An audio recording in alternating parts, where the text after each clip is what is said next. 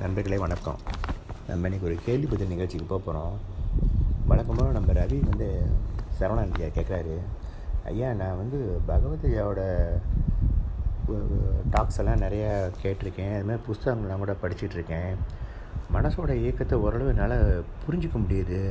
இப்போ என்னோடய பிரச்சனை என்னென்னா நான் ஆசைப்பட்டு சமுதாயத்தில் தவறுன்னு நினைக்கக்கூடிய ஒரு தவறான செயலை செஞ்சுவிட்டேன் இந்த விஷயத்தை தெரிஞ்சுக்கிட்டு என் ஃப்ரெண்டு வந்து இந்த கர்மாவுக்கான பலனை நீ அனுபவித்து தான் தீரணும் அப்படின்னு சொல்லி சொல்கிறாரு இது வந்து எனக்கு எதிர்காலத்தை பற்றி ஒரு பயத்தையும் தேவையில்லாத சிந்தனையும் ஏற்படுத்திடுது. நான் இதை எப்படி பார்க்கணும்? எப்படி விளங்கிக்கிறது? அப்படின்னு சொல்லி கேட்குறாரு அதுக்கு நம்ம சரவணையன் சொல்கிறாரு இங்கே பாருங்க ரவி.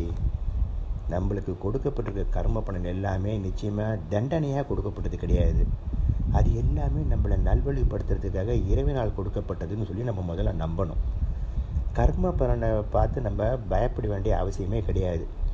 முடிஞ்சு போன செயலை எல்லாத்தையும் முடிஞ்சு போனதாக எடுத்துக்கணும் ஃபஸ்ட்டு இனிமேல் செய்ய இருக்கிற செயலை வந்து நல்ல அறிவை பயன்படுத்தி சரியான செயலாக செய்யுங்க. உங்கள் செயலில் வந்து உங்களையும் மற்றவங்களையும் பாதிக்காத மட்டும் மட்டும் நீங்கள் பார்த்துக்கிறது கொஞ்சம் நல்லது. இப்போ உங்கள் பிரச்சனை வந்து நம்ம ரெண்டு பகுதியாக பிரிச்சுட்டு பார்த்து தீர்வு பார்க்கலாம் வாங்க. ஒன்று அகம் சார்ந்தது இன்னொன்று புறம் சார்ந்தது. இந்த எண்ணமும் உணர்வும் வந்து நம்மளோட அகம் சார்ந்தது செயல்ங்கிறது வந்து புறம் சார்ந்ததுன்னு உங்களுக்கு ஏற்கனவே நல்லா தெரியும். இப்போ இந்த முடிஞ்சு போன செயலை பற்றி யோசிக்கிறது இல்லாட்டி இந்த கர்ம பலனை பற்றி எண்ணிக்கிட்டே இருக்கிறது எதிர்காலம் என்ன ஆகுமோன்னு சொல்லி யோசிக்கிறது எல்லாமே வந்து அகத்தை சார்ந்ததாக தான் இருக்குது இது முழுக்க முழுக்க நம்மளோட இதில் தான் இருக்குது நம்ம வந்து யோசிச்சுக்கிட்டு இருக்கிறதுல வந்து எந்த பிரயோஜனமும் கிடையாது. முழுக்க முழுக்க நமக்கு மட்டுமே யோசிச்சுக்கிட்டு இருக்கிறது தான் இது எல்லாமே. இது நமக்கு மட்டுமே தெரியக்கூடிய ஒன்று தான் இந்த அகங்கிறது. இப்போ நம்மளை தவிர வேறு யாருக்கும் இது ஒன்றுமே தெரியாது. அதனால் அகத்தை பொறுத்த வரைக்கும் நம்ம இங்கே செயல்படுறதுக்கு எந்த வேலையுமே இல்லை அப்படின்னு புரிஞ்சுக்கிறது தான் இந்த ஞானம் கூட. இப்போ அகத்தில் நம்ம எதனாச்சும் முயற்சி செய்கிறதே எல்லா பிரச்சனைக்கும் மூல காரணமாக கூட அமைஞ்சிருது. அகத்தில் வந்து நல்லது கெட்டது பாவம் புண்ணியம் அப்படின்னு ஒன்றுமே கிடையாது. நம்மளோட அறிவு பகுதிக்கு அகத்தில் எந்த வேலையும் கிடையாது அப்படிங்கிறத வந்து நம்ம இந்த இடத்துல நல்லா புரிஞ்சுக்கணும். அதே சமயத்தில் இந்த புறம் இருக்குது பார்த்திங்களா இந்த புறங்கிறது வந்து செயல் வடிவமானது. செயல் ஒன்று தான் நம்மளையும் மற்றவங்களையும் ஒரு இணைக்கிற பாலமாக கூட இருக்குது. இங்கே நம்மளோட செயல் மட்டும்தான் மற்றவங்களுக்கும் தெரிஞ்சுக்கிறதுக்கு இருக்கிற மாதிரி வெளிப்படையாக தெரியுது. இந்த செயலில் வந்து நல்லது கெட்டது பாவம் புண்ணியம் அப்படி எல்லாமே இருக்குது. அகத்தில் வந்து நம்ம நம்ம மனப்போராட்டத்துக்கு முக்கியம் கொடுக்குறப்ப இந்த புற செயலை கூட நம்மளால் சரிவர செய்ய முடியாமலே போயிடுது. முடிந்த வரை நீங்கள் வந்து உங்கள் செயலில் சமுதாயத்திற்கு எந்த பாதிப்பத்தையும் ஏற்படுத்தாமல் இருக்கிற மாதிரி மட்டும் நீங்கள் பார்த்துக்கிட்டு செய்கிறது நல்லது. இப்போ முடிஞ்சு போன செயலையெல்லாம் முடிஞ்சு போனதாக தான் நீங்கள் எடுத்துக்கணும். நீங்கள் இனிமேல் செய்ய போகிற செயலை முடிஞ்ச வரைக்கும் உங்கள் அறிவை பயன்படுத்தி நல்லா சிறப்பாக செய்யணும். நீங்கள் செஞ்ச செயலை வந்து இனிமேல் கொண்டு சுத்தமாக மாற்ற முடியாது. மாற்ற முடியாத நிலையிலையும் அதனால் ஏற்பட்ட மன பாதிப்பிலிருந்து விடுபடுறது சாத்தியமா? அப்படிங்கிற கேள்வி ஒன்று எப்போவுமே இருந்துகிட்டு தான் இருக்குது.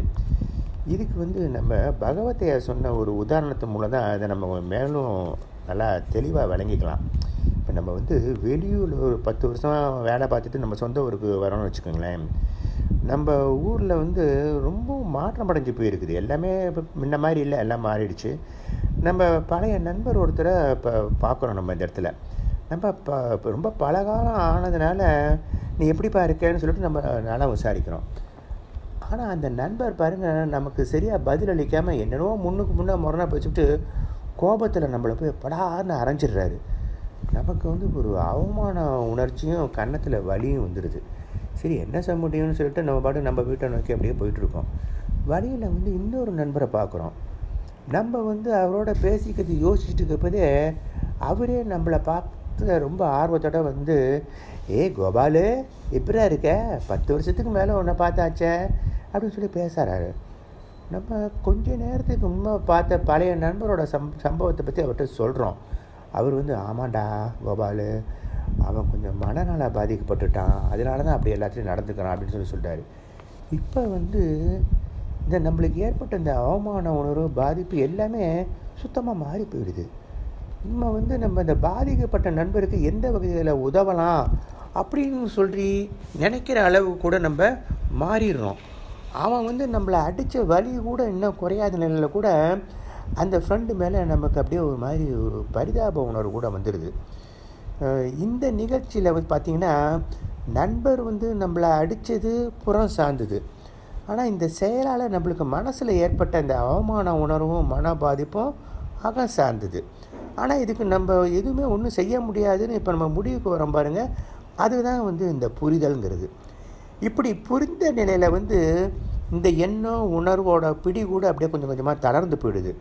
மனசில் மாற்றம் வந்து தானாகவே ஏற்பட ஆரம்பிச்சிடுது கன்னத்தில் அரைஞ்ச வலி இருந்தப்போ இருந்தாலும் கூட நம்ம அதை பெருசாக எடுத்துக்கிறது மாட்டேன். ரொம்ப சுலபமாக அதை ஏற்றுக்கிறோம் இப்போ அகப்பிரச்சனைக்கு ஒன்றுமே செய்ய முடியாதுன்னு அப்படி நம்ம புரிஞ்சு இந்த மாதிரி ஏற்றுக்கிறப்ப முடிஞ்சு போன செயல்னால் ஏற்பட்ட அந்த மன பாதிப்பிலிருந்து கூட நம்ம அப்படியே கொஞ்சம் கொஞ்சமாக விடுபட ஆரம்பிச்சிடுறோம். இதே மாதிரி நம்மக்குள்ளே ஏற்படுற இந்த கர்ம பலனை பற்றிய சிந்தனை பயம் அது மாதிரி இதுக்கெல்லாம் கூட நம்ம ஒன்றும் செய்ய முடியாது. அப்படிங்கிற நிலைக்கு நம்ம உறுதியாக வந்துட்ட போது இந்த செயலோட தேவைப்படையெல்லாம் கூட அப்படியே கொஞ்சம் கொஞ்சமாக குறைய தொடங்கிடுது. செயலை மாற்றி அமைக்கணும் அப்படின்னு நீங்கள் நல்லா ஒரு முடிவு எடுத்துக்கோங்க. எதிர்காலம் பற்றிய சிந்தனை பய உணர்வு இந்த மாதிரி இந்த இடத்துக்கெலாம் நமக்கு எந்த வேலையும் இல்லை அகத்தில் அப்படிங்கிற அளவில் நீங்கள் வந்து அதை முடிச்சுக்குங்க. எல்லா மாற்றமும் தானாக ஏற்பட ஆரம்பிச்சிடும் இந்த எண்ணம் உணர்வு மீது நமக்கு உள்ள இந்த பிடி தளர்றப்ப ஆசை வயப்பட்ட எந்த செயலை கூட நமக்கு செய்ய வேண்டிய அவசியம் இல்லாமல் போயிடும். நன்றி வணக்கம். அனைவருக்கும் அன்பான வணக்கம். ஸ்ரீ பகவத் ஐயா அவர்கள் நம்மோடு வாழ்ந்து கொண்டிருக்கும் ஞானி. இவரால் ஞானத் தெளிவு பெற்றவர்கள் பலர்.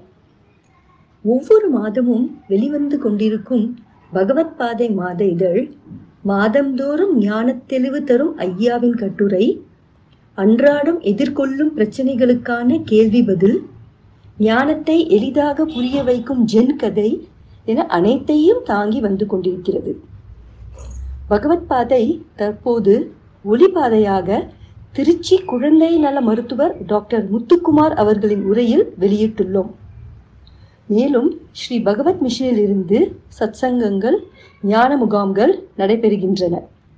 மேலும் விவரங்களுக்கு தொடர்பு கொள்ள